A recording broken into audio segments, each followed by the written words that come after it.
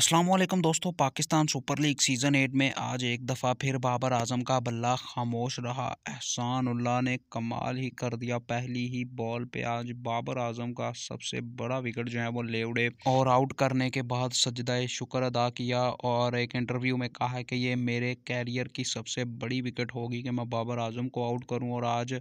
आते ही पहले ही गेंद पे बाबर आजम को आठ गेंदों पे नौ स्कोर बनाए हुए थे बाबर आजम ने उनको आउट किया और अपने कैरियर का एक तेज़ गेंद भी बाबर आजम को कर दिया तो दोस्तों बाबर आजम और एहसान उल्ला में से कौन कमेंट सेक्शन में ज़रूर बताइएगा और मज़ीद अपडेट्स के लिए चैनल को सब्सक्राइब लाजमी कर लीजिए